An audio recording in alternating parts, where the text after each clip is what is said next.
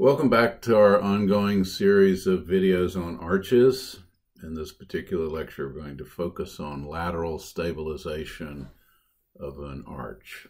And that has to do with what keeps the arch from flopping from side to side. So here's an example of one of the most straightforward primitive things that we can do to make the arch laterally stable. In this case, the cross section of the arch has been made much wider in this direction. And implicit in this is somewhere down below where this arch attaches, uh, there's a good moment connection so that the bending action of this arch at the base can help stabilize the top of the arch through the beam action of this element. This is the same principle, um, a little more elegant, two round tubes that are knit together with a web in between, but it's exactly the same principle. I like showing this slide because one of our challenges in architectural applications of arches is that when they come down to where the point where they're accessible in any way to people, uh, it becomes an attractive nuisance for anyone who wants to climb up over the top of the arch. So you'll notice this is a fairly decorative element, but often uh, after the fact, when people realize this is a problem, they implement some kind of design solution here, which is not so attractive. And even this one, when you think about it, it, is really easy for somebody with the, the nerve and the athleticism to sort of crawl over this fence. But it is an issue that one needs to be concerned about in arch structures and it seriously limits the number of applications that we're able to make in architectural situations. Um, in this case, this is the St. Louis Arch. We're looking straight onto it, but what we're really worried about is motion in and out of the page. So I'm mainly showing this image to give you a good sense of the proportions of it. But when we look off from the side, the tendency of the arch to move horizontally at the top in this direction is resisted by the thickness of the arch at the base. So this arch is more like a high-rise building than it is like an arch. And uh, under wind load uh, in this direction or a seismic disturbance in that direction, this bending capacity as it comes out of the ground is absolutely crucial. So it looks exactly like we would expect a cantilevered beam to look when we look at it edge on from the side. Now, this is not necessarily that pertinent to the topic we're talking about now, but I'm going to make a point, which is this arch is also larger in this direction. And so it looks a lot like a cantilever here, a curved cantilever coming out of the ground. And that turns out to be really crucial for two reasons. Uh, one is architecturally, we have this function that we have elevators that go up there are special elevators that remain, uh, the floors remain horizontal even though they're tracking this curve. And we need to be able to get people into the building at the base. So that's crucial. But also this breadth in this direction has to do with the um, structural function of the arch during the process of construction. So I have a sequence of images here which show the arch going up. And by the way, uh, you'll notice they've built a rail on the outside with this construction equipment going up those rails. And right at this point, we're they're actually cantilevered out of the ground all the way up to this point right here. At some point, the tendency of those things to fall in towards each other becomes too extreme, and they are separated by this uh, truss work strut that holds them apart. And the construction continues on up. This shows you the shape of that cross section and the scale with these human beings up there that give you a sense of how large it is. It's not huge up near the top. It gets smaller and smaller, but it's still ample for human beings. And this is that trussed strut, which is a temporary feature to hold it apart. And here is the arch when they're about to insert the last member. And that member was so tight that they actually poured water after the bridge had a chance to warm up. They poured cool water down the surface of the outside of both sides of the arch, which caused the arch to contract and pull apart at this last little sliver of space there in order to allow them to insert the last member. This just shows one of the cranes during the construction process. That shows the last member going into place. And it's quite a spectacular uh, achievement from a structural point of view, but also an aesthetic point of view. So a similar example is this tall arch to support this rail, railroad. Um, basically, it has to stabilize itself laterally by having extra thickness at the base. So basically this structure relative to wind loads perpendicular to the train and perpendicular to the arches, um, the mode of stabilization is for this to cantilever out of the ground. Um, this is somewhat the same we have these very wide uh, uh, towers here, which narrow down somewhat but are still incredibly thick and sturdy. And then they attach to the arch, and the arch is a circular tube, which makes it good for resisting lateral uh, forces uh, and a tendency to buckle laterally. Um, because it has good thickness in the direction perpendicular to the member um, but also uh, being a good torsional member is an advantage also. And the depth of this actually will help prevent roll through buckling also, which we're going to be talking about in the next section. Um, so you'll notice this thing is sort of splayed apart to give it a good uh, strong base.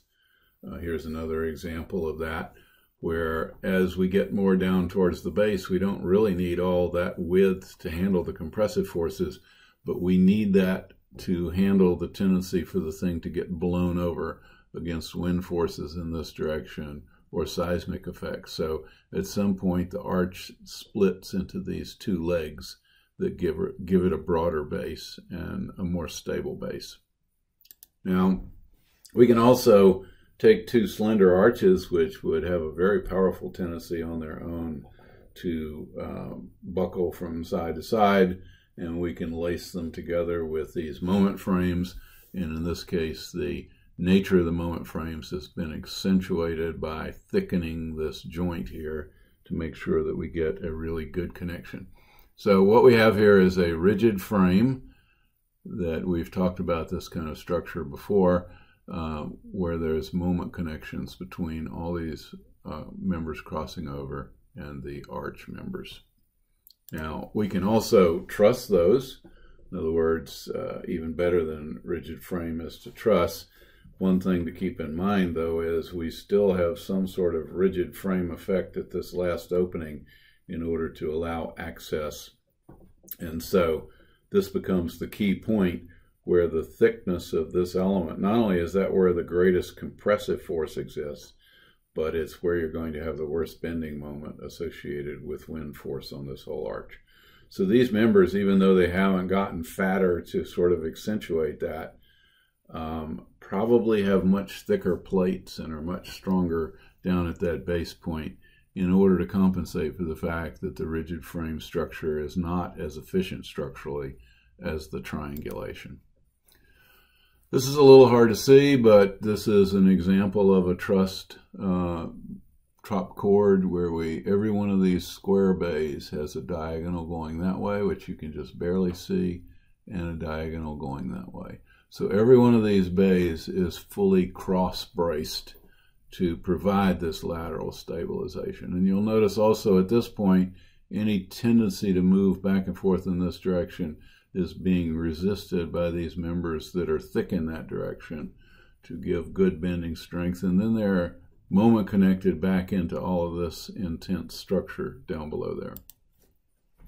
This one is a little bit easier to read. You'll notice the K-braces, so named because this member plus that member form a K. Um, a K-brace, by the way, as we talked about it in trusses, has the advantage that instead of taking a diagonal all the way across here and leaving this member really long and slender, uh, the K-brace comes in and braces that member at the halfway point, which produces a more structural, structurally uh, efficient form. Here's another example. We have K-bracing on both the top and bottom of this particular arch.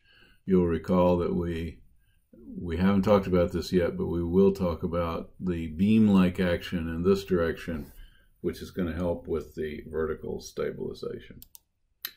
Here we have some more uh, K-trusses along the bottom of this arch. And I want to mention, by the way, this will come up in the next lecture, but this arch is deeper at the ends in the vertical direction because it's moment connected there to allow it to cantilever over this body of water and make it unnecessary for us to have any kind of centering which would support the arch down below. So in other words, this bridge is going to get constructed like the St. Louis Arch, where basically it's constructed from the ground up and it cantilevers from the foundation. Okay, so here is, um, architecturally speaking, a classic way of stabilizing an arch. If you have a roof diaphragm that connects continuously to it, it will do a wonderful job of stabilizing the arches against lateral buckling.